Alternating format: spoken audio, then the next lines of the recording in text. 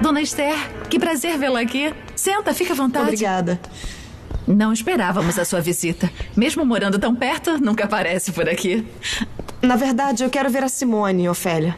A dona Simone está ocupada lá em cima com uma visita. Não sei se ela vai demorar. Já está há algum tempo com ela. E o Miguel está aqui, na casa? No quarto do Miguelzinho. Por favor, diz que eu quero falar com ele, tá? Esther. Miguel. E esse milagre? Eu vim visitar a Simone, mas a Ofélia me disse que ela está ocupada e eu pedi para te ver. Hum, fico contente por ter vindo. Antes de ir vê-la, eu quero falar com você. Agora ela está com a selvagem. Tá dizendo que a Simone está com a Maricruz Olivares? É, a Simone a mandou chamar. E por quê? Quem entende as mulheres? É, temos que falar seriamente, você e eu, Esther. Assim você me assusta. Olha, acredite que eu não queria te dar um desgosto. Ainda continuo te considerando como a prima da minha esposa, mas. É sobre o José Antônio? É. É sobre ele. Ele roubou a selvagem. Mas aqui não vai poder te dar vantagem. Aqui, ele não vai poder ficar. Eu não vim para você falar mal do José Antônio, mas para ver a Simone. Talvez pela última vez. E de passagem, garantir a posição do seu marido?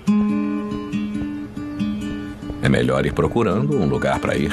Porque quando a Simone tiver morrido, como eu sou o administrador, o José Antônio também terá que ir. Para onde, Miguel? Para onde ele quiser. Mas nós temos um filho. o José Antônio tem dinheiro guardado. Tudo que ele roubou da selvagem. Eu sei disso. Muitos sabem e ele não faz a menor questão de esconder. Eu acho que a única que ignora é a Maricruz. Mas isso não importa, porque ela não demora a partir. Dizem que as coisas boas e ruins acontecem em ciclos. É verdade. E eu acho que o seu é um ciclo de prosperidade, o que deveria te tornar generoso.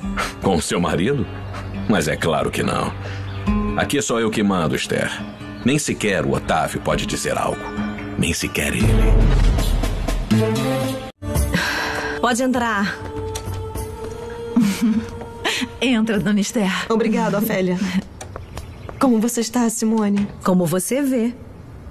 É verdade que você decidiu ser operada por cirurgiões da capital? Já está decidido. Além do mais, o Otávio insistiu muito. Olha, eu não sei o que dizer. Não diga nada se não for para me incentivar. em que posso ajudar? Bom, eu não vou te cansar muito. Eu sei que você recebeu visita. É, a selvagem. Mas já passou tudo. O que os olhos não veem, o coração não sente. Se eu sei que não vou estar aqui para ver, então não me importa. Não, não, ela tem que ir embora, Simone. Ela só tem alguns dias e, além do mais, está sem dinheiro. Recebeu uma lição por ser tão atrevida. Se a Lúcia pudesse vê-la, ficaria mais do que satisfeita. Todos nós temos um pouco de culpa pelo que ela se tornou. Menos você, é claro. E como pode ver, sou eu quem está pagando mais caro. Mas agora me diz, como estão o José Antônio e seu filho? Graças a você, ele está muito civilizado. Ele ficou civilizado por conta própria. E é justamente dele que eu quero te falar. Do José Antônio. O Miguel não se dá bem com o José Antônio.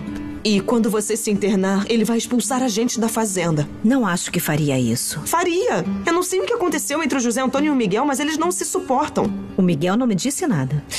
Mesmo assim, eu tenho medo, Simone. O Miguel é administrador da fazenda, mas não é o dono. Ele respeitará qualquer ordem que eu der. Então dê essa ordem. Diga a ele, por favor, para não nos tirar daqui. Eu estou muito preocupada.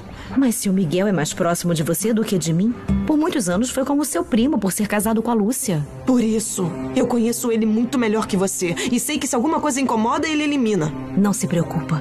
Ainda tenho que fazer muitas coisas antes de ir e levarei em conta a sua recomendação. Por enquanto, diga ao José Antônio para vir me ver. Eu vou dizer. Obrigada, Simone. Que Deus permita que você volte sã e salva. Você vai ficar bem.